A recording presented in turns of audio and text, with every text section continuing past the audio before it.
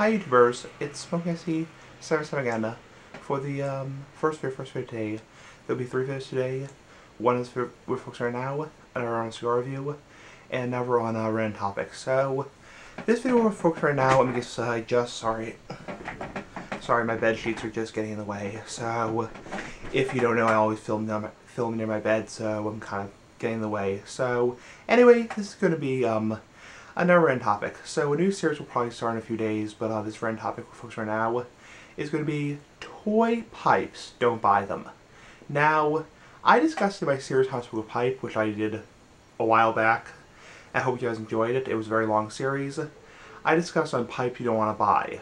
Now, obviously, you don't want to buy any kind of like um, like um, pot pipes. You know, really crappy pipes from China you want to buy like um, glass pipes, metal pipes, that kind of stuff.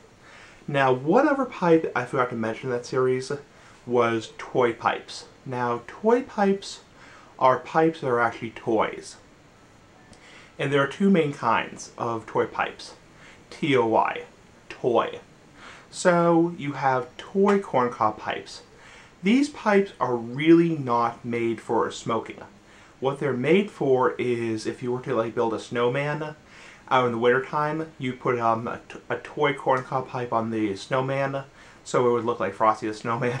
So they're really not made for tobacco. You never want to buy toy pipes because they smoke horribly. I, I wouldn't even recommend smoking them. Also, you can get toy meerschaum pipes They look like um, almost like bubble pipes. If you've seen like bubble pipes, you can put uh, bubble soap in them and you can uh, blow bubbles with, with them. And they're kind of like for uh, kids, you know.